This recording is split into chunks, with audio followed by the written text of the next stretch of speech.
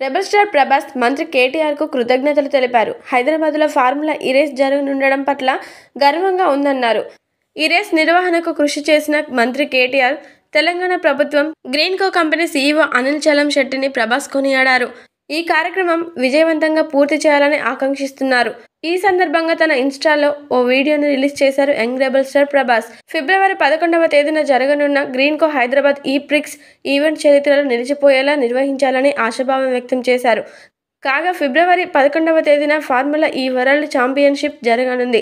ఈ రేస్కు సంబంధించిన టికెట్లను ఇప్పటికే ఆన్లైన్లో అందుబాటులో ఉంచారు.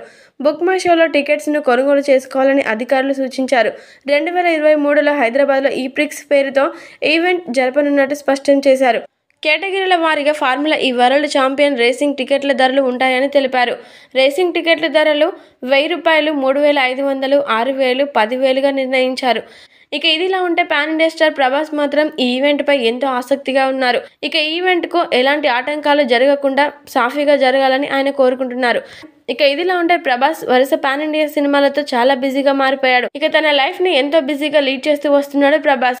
ఇక ఇదిలా ఉండగా కేజీఎఫ్ ఫేమ్ ప్రశాంత్ నీల్ దర్శకత్వంలో సలార్ మూవీని తీస్తున్నారు. ఇక వీరిద్దరి కాంబోలో ఈ సినిమా అయితే చాలా అద్భుతంగా ఉండబోతుంది అంటూ అంచనాలు భారీగానే ఉన్నాయి అంటూ ప్రేక్షకులు అభిమానులు వారి సంతోషాలని వ్యక్తం చేస్తున్నారు. అయితే ప్రభాస్ నటించిన ఆదిపురుష్ సినిమా కంటే కూడా అభిమానుల దృష్టి మొత్తం ఇప్పుడు సలార్ మూవీపై పడింది.